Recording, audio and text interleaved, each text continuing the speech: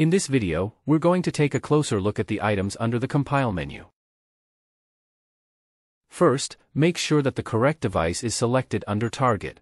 The second drop-down should automatically populate with the correct compiler to use.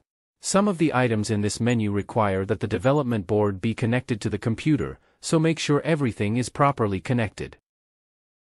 The Build button will compile the modified units and build the project.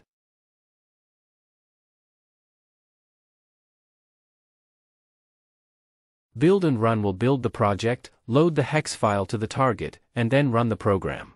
You can select the option to use to program the device. This program will tell the green LED on the board to start blinking.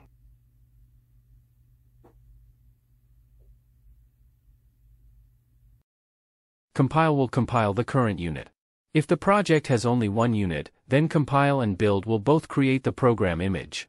If the project has multiple units, then compile will not create the program image.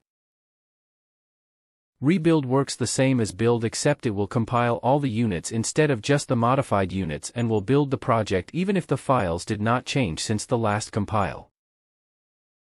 Let's look at what happens when we try to compile a file with a couple of syntax errors in it.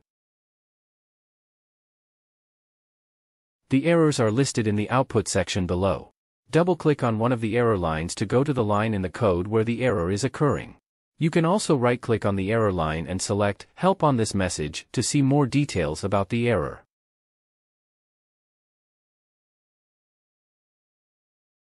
Another useful tip is if you place your cursor inside the name of a built-in function and press the F1 key, it will bring up the documentation for that built-in function.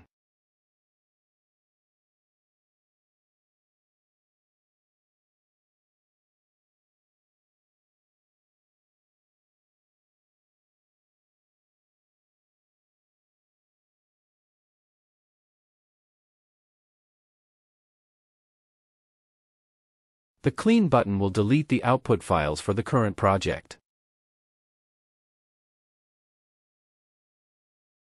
The Output Files area is where you can find some of the output files. Statistics will show project statistics including ROM and RAM usage, detailed function analysis, and more.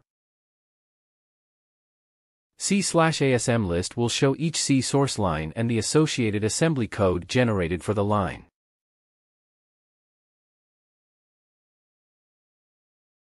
Call tree will give a graphical representation of function calls throughout the code.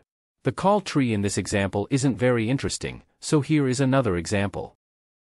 Double-clicking on a function in the tree will show you which functions it calls.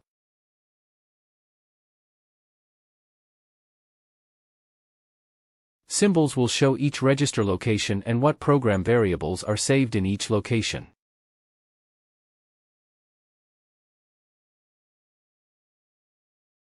The Program button will program the target chip. You can manually select which programming tool to use. These tools can be added or removed using the IDE options in the Options menu. Let's disable a couple of the tools that we won't be using. Click on the Apply button to save the changes. Notice the Add and Delete buttons.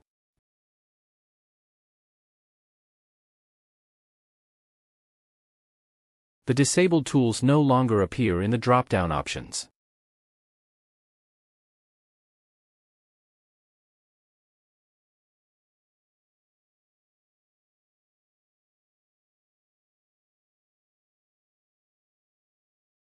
Debug will debug the code on the target device. You can manually select which debugging tool to use. To learn about how to use the debug tool, watch our video about the debug menu. Visit ccsinfo.com for more information about the easy-to-use CCS C compiler IDE and for purchasing options.